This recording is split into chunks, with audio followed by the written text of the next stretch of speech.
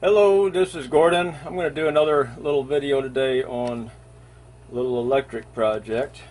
First I'll take the camera off the tripod and show where I'm at. Over here at my pond in this little kitchenette area that I built from my pond. It's kind of occupied with a bunch of stuff right now because we're not doing any parties or barbecues or nothing, but I got a light switch out. The ceiling light is not coming on with the light switch. And I didn't, I just was starting to just fix it without video. And I already pulled the plate off, already checked the switch. Didn't uh, plan on doing a video. And then I thought, oh, let me do a video on this. Real simple. Now I cheated. I don't recommend anybody do this that doesn't have a lot of experience with electric. But I cheated. When I, I saw the black wire right there, put a finger on the ground, but I'm not grounded. I'm standing on a, on a hardwood floor and I'm fully dressed. And I just took one thumb here on this ground and just tapped that. And I felt a little buzz there, so I knew the black wire is hot. And with the switch on, the white one isn't. The white one should be hot also. Well, the right way to test that, of course, is with a tester. And we'll see if we can get this to show up on the video. Get that on. We're on the AC voltage to the 600 side. That means anything under 600 on AC will work. I got to put my glasses on and make sure that I'm on AC. Yes, it is with the squiggly line. So, doesn't matter which probe goes where. I'm just going to stick with the switch on.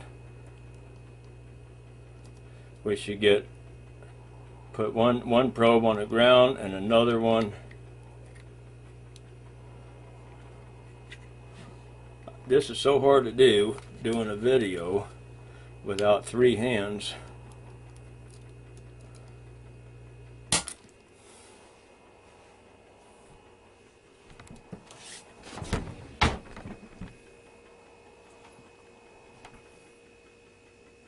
And that's what happens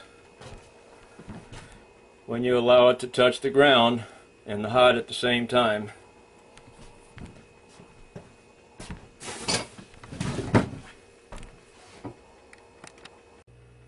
So much for that video. I guess maybe I'll do a series of bloopers. Uh, light switch works now. I didn't even change it. All I did was short out the breaker, turn it back on, and and it's working. So, so much for that. But uh, I'll see if I can get the tester on there anyway. Very, very carefully. Try not to touch the ground again. There's our 120 volts. I hope you can see that on the video. I don't know if you can, but you won't see it. Up here is zero until we turn the switch on. See the light works now.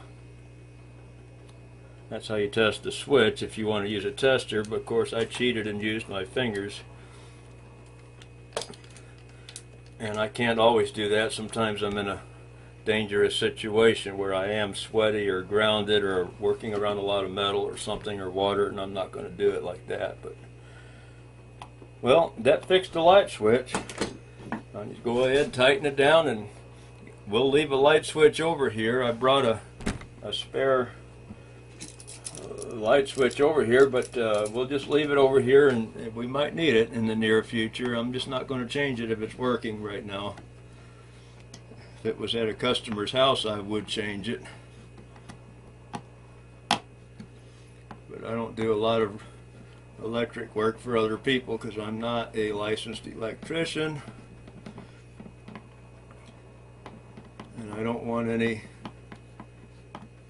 claims coming back to haunt me.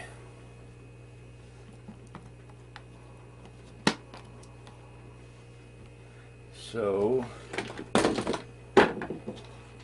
if we do a series on bloopers, this will be a good one for that. But look here, the lights are working. All right. Thanks for watching.